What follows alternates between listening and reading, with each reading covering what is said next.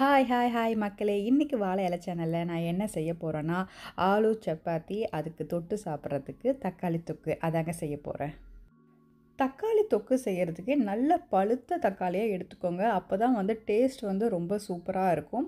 அதே மாதிரி நம்ம வந்து சிம்பிள் ஆலு சப்பாத்தி தாங்க செய்ய போகிறோம் அதனால் வந்து ஒரு நாலு அதாவது நான் அந்த பிசைஞ்ச அந்த அளவுக்கு வந்து ஒரு நாலு உருளைக்கிழங்கு எடுத்துக்கிறேன்.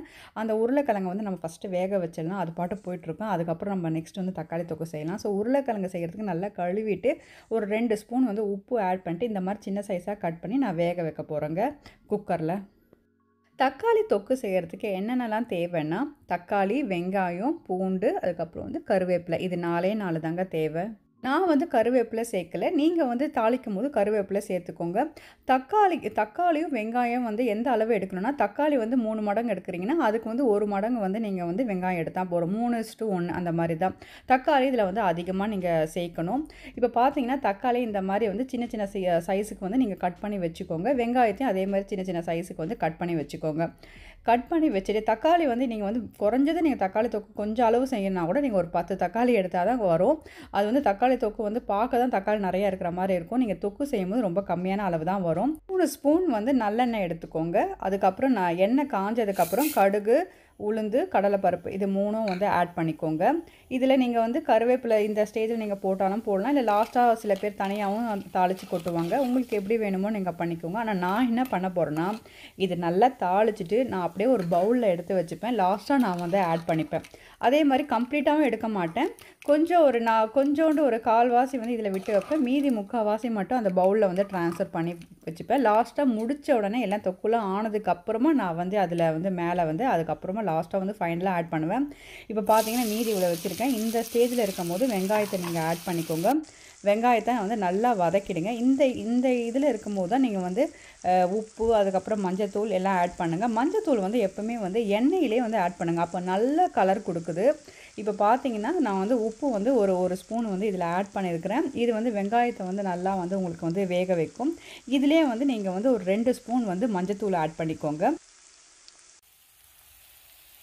வதங்கினதுக்கு அப்புறமா நீங்கள் வந்து தக்காளி வந்து ஆட் பண்ணிக்கோங்க. தக்காளி ஆட் பண்ணிவிட்டு நல்லா வந்து வதக்கி கொடுங்க. இப்போ பார்த்தீங்கன்னா நான் வந்து தண்ணியே ஆட் பண்ணலைங்க.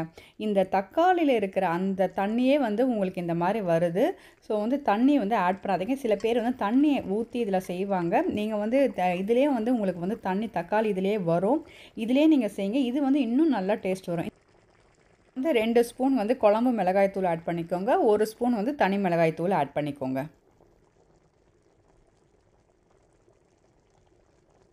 ஏற்கனவே நம்ம வந்து ஒரு ஸ்பூன் வந்து உப்பு போட்டிருக்கோம். இப்போ இந்த ஸ்டேஜில் வந்து ஒரு ரெண்டு ஸ்பூன் வந்து உப்பு போட்டுக்கோங்க. கரெக்டாக இருக்கும்.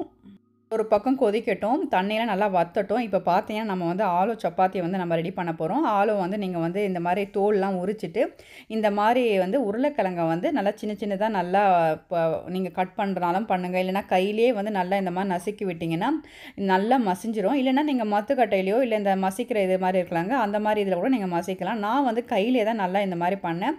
இந்த மாதிரி நல்லா மசிச்சு விட்டுருங்க. நல்ல ஒரு சின்ன சின்ன பீஸ் கூட இருக்கக்கூடாது. நல்லா உங்களுக்கு வந்து மாவு மாதிரி வந்து நீங்கள் இதை எடுத்துக்கணும்.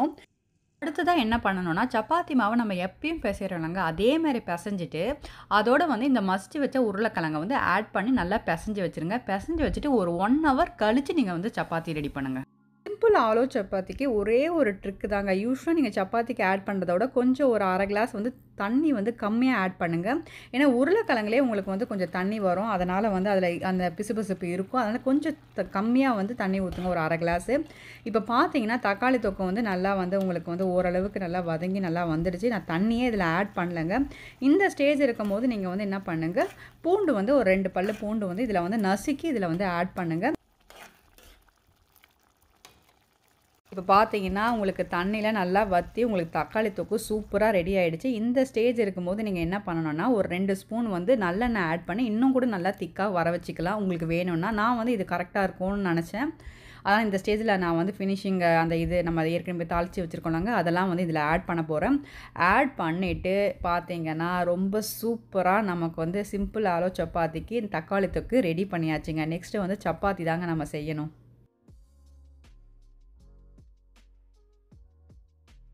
ஒன் ஹவர் ஆனதுக்கப்புறம் அந்த சப்பாத்தி மாவை வந்து நல்லா வந்து இந்த மாதிரி திரட்டி இந்த மாதிரி ரெடி பண்ணி வச்சுருக்கிறேன். இங்கே பாருங்கள் நார்மல் நம்ம சப்பாத்தி செய்கிற அதே மாதிரி தான் உங்களுக்கு வந்திருக்கும். திரட்டினது கனமாக கினமாக அந்த மாதிரிலாம் எதுவுமே வரல. நார்மலாக எப்பயும் நம்ம போ ஆனால் இதில் வந்து உருளைக்கிழங்கு சேர்த்துருக்கு. அதனால் வந்து உங்களுக்கு வந்து ஹெல்த்தியாக வந்து இதோட வெஜிடபிளும் சேர்த்து உங்கள் பசங்களுக்கே தெரியாமல் நீங்கள் வெஜிடபிளை கொடுத்துடலாம் இது மூலமாகவும் இதில் வந்து உங்களுக்கு வேணும்னா நீங்கள் கேரட் அந்த மாதிரி வேறு வெஜிடபிள் கூட நீங்கள் ஆட் பண்ணிக்கலாம். இப்போ நான் பார்த்தோன்னா உருளைக்கிழங்கு மட்டும் சிம்பிளாக நான் ஆட் பண்ணியிருக்கிறேன். ஸோ நம்ம எம்மியாக இருக்கிற அந்த தக்காளி தொக்கை நான் ஒரு பவுலில் ட்ரான்ஸ்ஃபர் பண்ணிட்டேன். ஸோ வந்து ரொம்ப அழகாக வந்து தக்காளி தொக்கு பார்க்கவே ரொம்ப எம்மியாக இருக்குதுங்க. அது கலர் எல்லாமே வந்து சூப்பராக வந்திருக்கு. இந்த மாதிரி ஒரு வாட்டி உங்கள் வீட்டில் செஞ்சு பாருங்கள் தண்ணியே ஆட் பண்ணாதீங்க. வெறும் இந்த தக்காளி வெங்காயத்தை போட்டு அதில் இருக்கிற தண்ணியை வச்சு இந்த மாதிரி செஞ்சு பாருங்கள் உங்களுக்கு வேணும் இன்னும் நல்லா திக்காக கூட நீங்கள் வர வச்சு பண்ணுங்கள் இன்னும் சூப்பராக இருக்கும். ஆனால் வந்து எனக்கு வந்து யூஸ்வலாக வந்து ரொம்ப திக்காகவும் எடுக்காமல் இந்த மாதிரி வந்து கரெக்டாக மீடியமாக எடுக்கும் போது நம்ம வந்து சப்பாத்தி தொட்டு சாப்பிடும் போது இன்னும் சூப்பராக இருக்கும். நீங்கள் இது ஒரு வாட்டி நீங்கள் உங்கள் வீட்டை ட்ரை பண்ணுங்கள் யூஸ்வலாக அதே செய்கிற மெத்தட் தான். ஆனால் வந்து நீங்கள் தண்ணி வந்து ஆட் பண்ணக்கூடாதுங்க.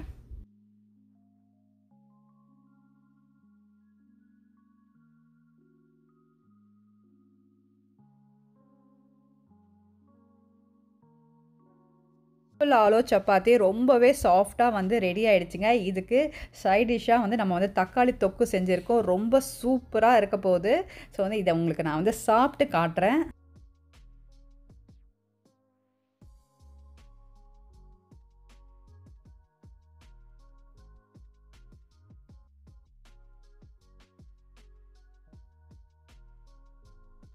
இது பாருங்கள் சப்பாத்தி எவ்வளோ சாஃப்டாக வந்திருக்கு. அதுவும் உருளைக்கிழங்கு ஆட் பண்ணியிருக்கு ஹெல்த்தியான வந்து நம்மளுடைய சப்பாத்தி வந்து ரொம்ப எம்மையாக சாஃப்டாக வந்து சூப்பராக வந்து ரெடி ஆகிடுச்சி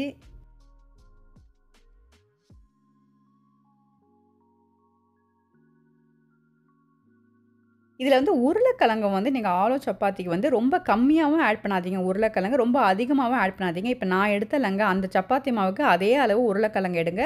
அப்படி எடுக்கும்போது உங்களுக்கு டேஸ்ட் எதுவுமே உங்களுக்கு வித்தியாசப்படாது. அதே மாதிரி இருக்கும். பசங்களும் வந்து சின்ன பசங்களுக்கும் வந்து உருளைக்கிழங்கு அதில் ஆட் பண்ணியிருக்குதுன்னு தெரியாமே நல்லா சாப்பிடுவாங்க.